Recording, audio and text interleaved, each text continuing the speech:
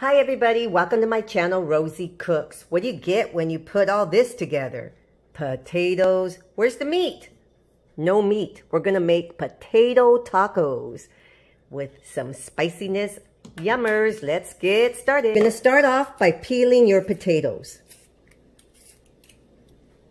Off to the side, I have some boiling water. I cut up my potatoes into big chunks. It just makes them boil faster boiling my potatoes until I can stick a fork through them.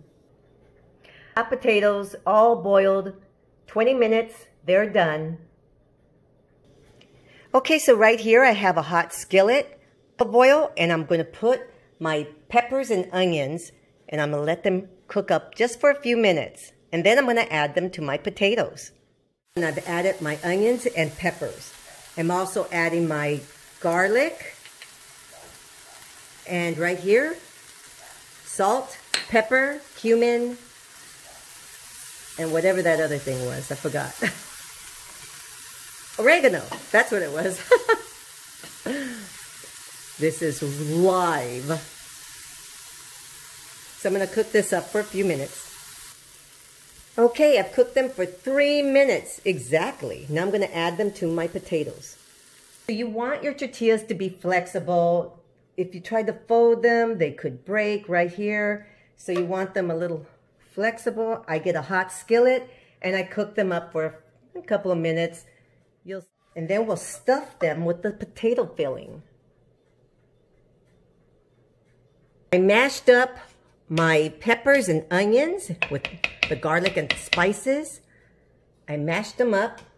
And this is my filling for my tacos, my potato tacos. Here's my tortillas. My tortillas are real flexible. And I'm just going to put a little bit inside my tortilla and fold it up.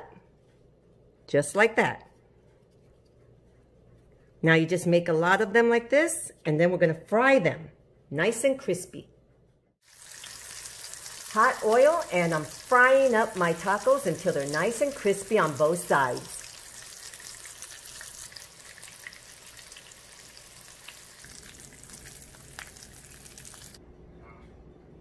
And here are my potato tacos with all the fixins.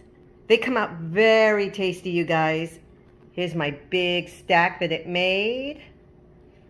And these are all the fixins. Thank you so much for joining me on my channel. If you found this video helpful, if you liked the video, please give me a thumbs up. Helps me out a lot. Please subscribe and I'll see you next time.